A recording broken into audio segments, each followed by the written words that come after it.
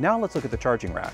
The communicators in the charging rack should always display a solid orange LED light. This lets you know that they're properly charging.